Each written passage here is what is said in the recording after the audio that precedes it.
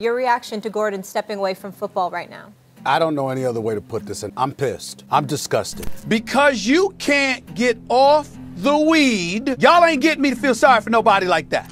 I thought it would turn out in a way like this. I'm still shocked because I know the pressure of addiction and what it does to families. And I know the lies that we as addicts that we tell those in our innermost close circle that they don't even know us. They think to. You can walk with people like this in life and you will not know them. It was more important for Josh to do whatever he did to violate the policy than for him to be able to show up to work. This story just tears me up. This is a sharp kid. This is a smart kid, perceptive kid, insightful kid, eloquent kid. Still a kid. That part about it is, it, it might never happen at this point.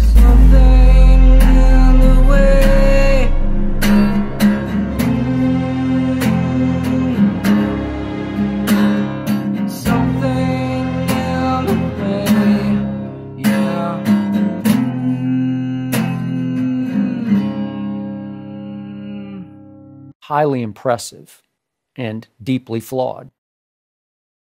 Let me preface all of this by saying two things. If you are suffering from a substance abuse problem, there is help out there for you. I left the phone number to the USA.gov's emergency substance abuse hotline in the video description below. The second thing is that Josh Gordon has lived a very private life. He has not spoke on a lot of what has happened throughout his personal life. With that being said, let's start from the top.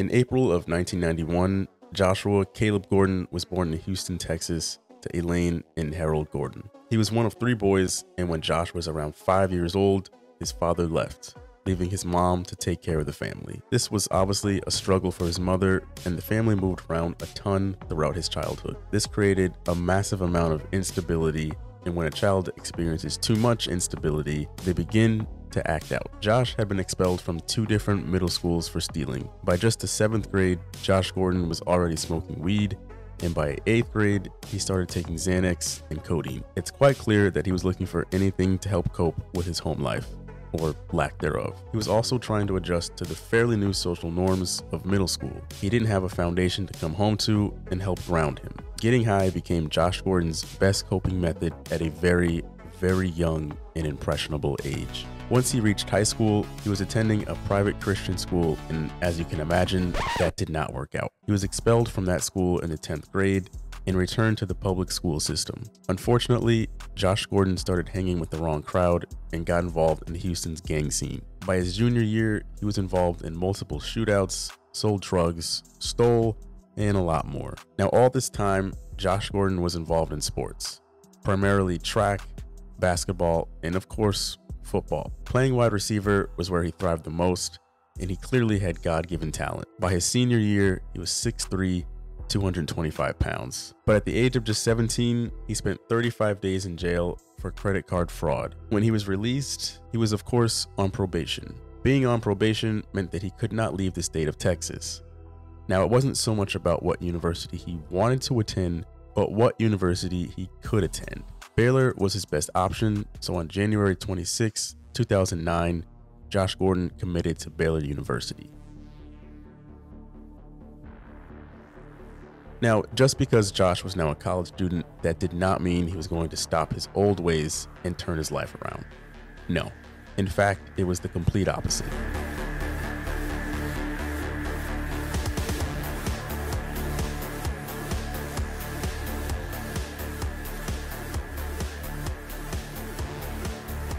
Josh Gordon stepped up from just selling weed here and there to a full blown weed operation.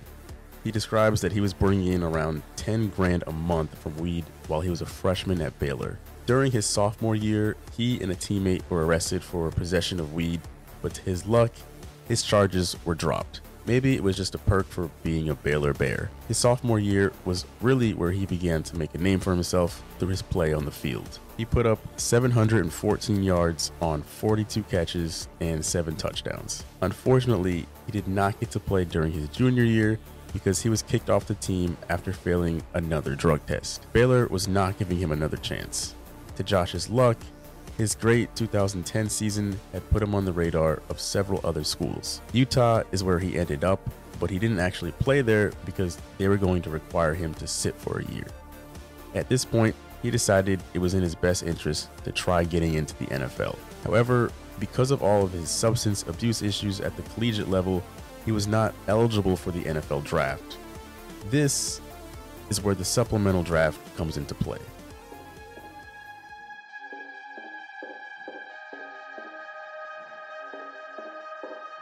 The NFL supplemental draft is a very underground thing to most people. This is primarily because so few players end up coming out of this draft.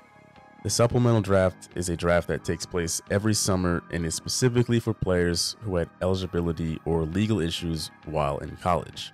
They can apply to be entered into the supplemental draft, and it's up to the NFL on whether or not they're included.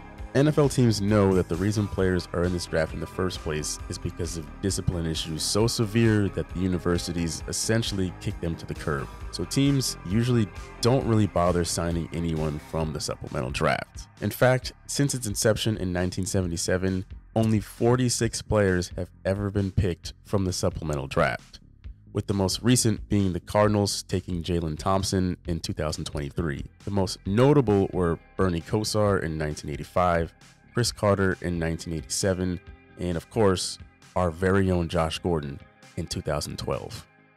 The Cleveland Browns were so desperate to turn their franchise around that what they saw from Josh Gordon's physical talent was enough for them to sign him.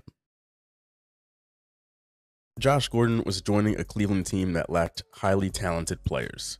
His quarterback was Brandon Weeden, so it wasn't like Josh was joining a team that was stacked on offense and he was barely going to see the field. The Browns quickly began to use him and he became Weeden's number one target. Gordon's rookie season yielded 805 yards, 50 receptions, and 5 touchdowns. He was the Browns' top receiver. Unfortunately, the team as a whole was still no good and they went 5 and 12 which earned them last place in the AFC North. The next season, the Browns would only win four games, and despite having Brian Hoyer and Jason Campbell at quarterback, Josh Gordon had an incredible season. He would finish the year with 1,646 receiving yards, which led the entire NFL. Yes, even over Antonio Brown and Calvin Johnson. The 2013 season put Josh Gordon on the map as one of the best wide receivers in the NFL. Something else that was going on this entire time was Josh Gordon's continued drug and alcohol use. He would smoke and or drink before and after every game. It had become the only way he could function. It was so bad that in 2014, he was arrested for a DUI, which resulted in the NFL suspending him for 10 games. Then in 2015, the Browns decided to take a plunge on a new quarterback in the draft, Johnny Manziel.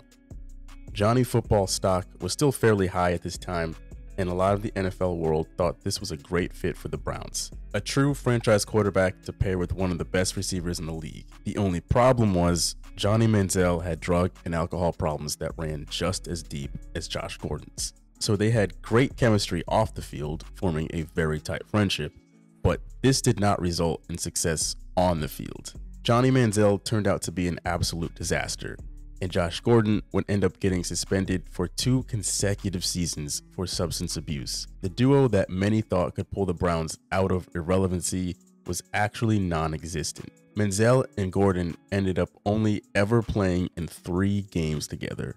Josh Gordon continued to spiral. He used those two years away from the NFL to continue using drugs and alcohol, while also going in and out of rehab. Somewhere in there, he eventually hit a moment of realization and decided to legitimately try turning his life around. In 2017, the NFL reinstated him and Josh ended up playing in five games. In 2018, Josh Gordon decided to temporarily leave the game of football to focus on himself for a while. However, the Browns, as you can imagine, had enough of Josh Gordon. After a roller coaster ride of six years with him, the Browns decided to part ways with Josh. He would end up only playing in the first game of the season before the Browns traded him to the Patriots. Now, as a Patriots fan, I was excited to have Josh Gordon. We had a history for taking on polarizing players, whether we knew they were going to be polarizing or not. If there was any NFL team that would be able to get Josh Gordon on the straight and narrow, it would be New England. And for a while, They kind of did. The Patriots very carefully watched Josh Gordon when he was both on and off the field. He had a pretty good season. Josh Gordon played in 12 games that season as a Patriot and amassed over 700 receiving yards. Him and Tom Brady seem to have a decent rapport at the very least. You can see that on display during the fourth quarter of this Thursday night game against the Colts.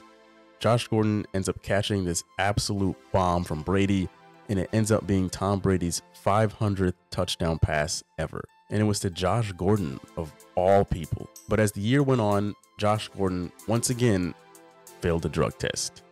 He preemptively stepped away from the game to say that he was working on his mental health, but it really didn't matter. The NFL suspended him again. This was a real shame because that particular New England team was truly great. Yes, I'm a bit biased, but the fact of the matter is they went on to win the Super Bowl that season. If he could have stayed clean, it would have made the ultimate comeback story for Josh Gordon's career by helping the Patriots win a championship. But that's not how real life works.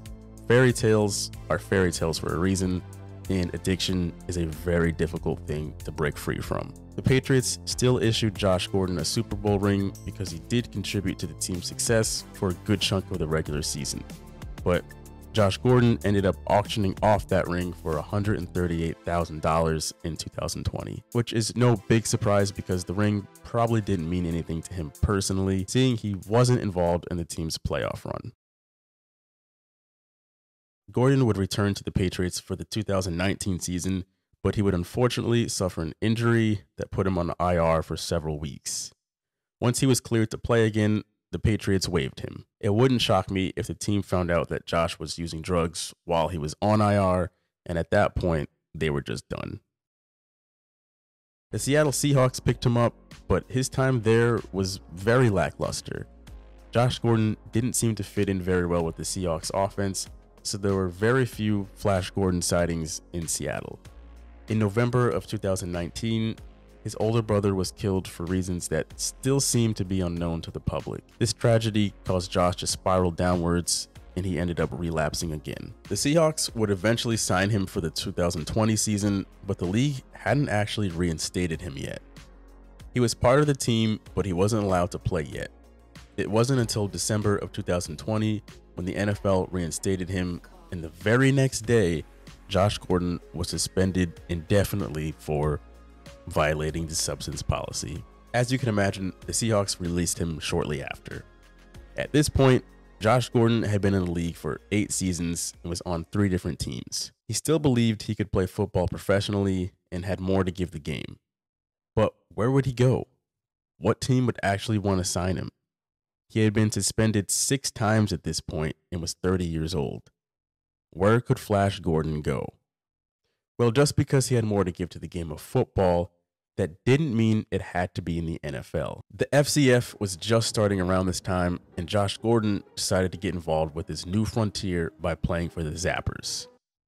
There's no city, they're just the Zappers because the league takes place entirely in Atlanta. So I guess technically they're the Atlanta Zappers. What is the FCF, you ask? It's a fan controlled football league. It gave the folks who are watching from home the opportunity to decide what a team should do next or vote in other in game events. Kind of like Madden meeting an actual game of football IRL. The league received some of its funding from former and current NFL players like Marshawn Lynch, Richard Sherman, Chad Johnson, and Dalvin Cook. Apparently, FCF players were only paid $400 a week before taxes. The whole thing just seemed wacky and that's putting it nicely, which is probably why the league only lasted two seasons and they're now trying to bring it back for a 2024 season. However, Josh Gordon did not play in the FCF for all of its two seasons. In fact, he only played two games. He ended up applying to be reinstated to the NFL again, and the Kansas City Chiefs actually signed him to their practice squad. He worked his way off the practice squad and was part of the active roster by October of 2021. But much like in Seattle, the Chiefs really weren't using him all that much. And after bouncing between the active roster and practice squad a few times, the Chiefs released him in August of 2022. Surprisingly, the Titans ended up signing him. His time as a Titan was the shortest of any of his NFL stops. He was signed by Tennessee in September, and by October, they let him go. On the bright side, the Chiefs nor the Titans were cutting him because of substance abuse issues. At least, I don't think they were. They were letting him go because he was starting to look like a shell of himself. He was now in his 30s and wasn't showing these teams that he still had enough in the tank to be an effective receiver. In January of 2023, Josh Gordon was a part of another supplemental draft, the XFL supplemental draft. He was now a part of the Seattle Sea Dragons, and as ridiculous as it sounds, Josh Gordon had a great run in the XFL. But the XFL and USFL ended up merging into the UFL, and the Sea Dragons essentially got lost in the shuffle. As of 2024, Josh Gordon apparently has no interest in playing professional football anymore. I did some digging and really could not find out what Josh Gordon is up to today. The last time he posted anything on social media was about a full year ago. At this point, all we can really do is hope that Josh is winning the battle with his inner demons. We all know he became the poster child for not being able to get your act together, even when millions of dollars were on the line. But when you dig deeper and look at why he couldn't just stay clean, it makes sense as to where his struggles come from. It doesn't excuse anything, but it does allow us to give some empathy to him. Only 1.6% of collegiate players end up making it to the NFL. So even if you only played a couple games in the NFL, that's a massive accomplishment that most people in the history of Earth can never say they achieved. With everything that Josh Gordon was enduring throughout his adolescence, he not only beat the odds by making it to the NFL, but at one point, he was arguably the best receiver in the league. Now think of the odds of reaching it to the top of that mountain once you're in the NFL. Josh Gordon had pulled off the impossible. Although the ridicule that he received throughout his career was self inflicted, he really is a testament to how crucial your upbringing is. I once heard Colin Cowherd say that around the age of 10, you've already kind of developed into who you are going to be for the rest of your life. Of course, we all continue to learn new things and habits, but who you are at your core is really developed by the time you're a preteen. In the tale of Josh Gordon, that's a very, very scared and anxious child that didn't know what tomorrow would hold. He turned to all the wrong things to help reassure him, and in the end, reached heights that most people will never touch. A spectacular tale, but a cautionary one. Thank you all for watching this Josh Gordon mini movie. If you enjoyed it, give it a like and also subscribe to the channel. We post videos throughout the week in addition to our NFL and NBA podcasts that we live stream right here on this channel every Wednesday night. Be sure to follow us on Instagram and TikTok. We post daily there. Those are both linked down in the description below. And if you also want to join our Discord, it's completely free. It's also linked down in the description below. We talk ball in there every single day. So, with that being said, I'll see you all in the next one. Peace.